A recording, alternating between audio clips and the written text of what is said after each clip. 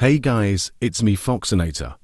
Today I will show you how to make distraction escape in piggy build mode.